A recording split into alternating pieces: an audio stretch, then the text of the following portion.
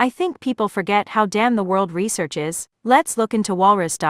This is walrus is a large pinniped marine mammal with discontinuous distribution about the North Pole in the Arctic Ocean and subarctic seas of the Northern Hemisphere. It is the only extant species in the family Odobenidae and genus Odobenus. Walruses grow long tusks, which help them adapt to Arctic life. They use their tusks like ski poles, digging into snow and ice to help them move around. Their tusks also smash through ice to create breathing holes while swimming underwater. Walruses can withstand freezing temperatures as low as negative 95 degrees Fahrenheit. Walruses are highly susceptible to disturbance and noise. Walruses have been known to attack humans too, but generally only in self-defense, and walruses are not typically known to be aggressive towards humans, unless provoked. Walruses know how to make friends. They might be massive, but they are social, intelligent animals. In the water, they often swim side by side.